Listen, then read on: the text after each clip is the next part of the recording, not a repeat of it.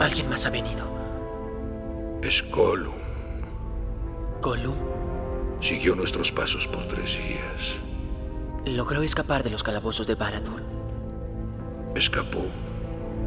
O lo dejaron ir. Ahora el anillo lo ha traído hasta aquí. Jamás dejará de ansiar tenerlo. Odia y ama al anillo, tanto como se odia y ama a sí mismo. La vida de Smigol es una historia triste. Sí, Smigol fue su nombre un día, pero el anillo lo halló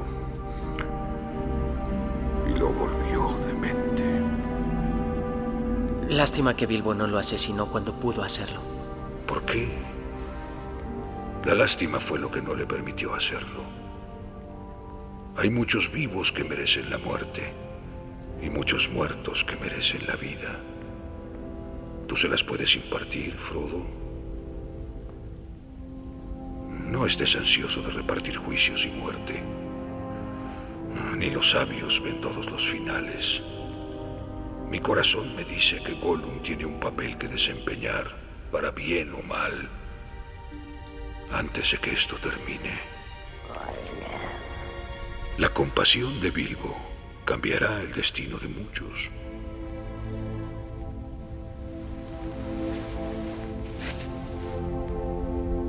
Ojalá que nunca hubiera venido a mí. Como quisiera que nada hubiera sucedido. Igual que todos los que viven eventos difíciles, pero ellos no lo pueden decidir. La única decisión posible es qué hacer con el tiempo que tenemos. En este mundo hay muchas fuerzas actuando, no pienses que solo el mal. El destino de Bilbo era encontrar el anillo, en cuyo caso tú también estabas predestinado a tenerlo. Ese es un pensamiento alentador.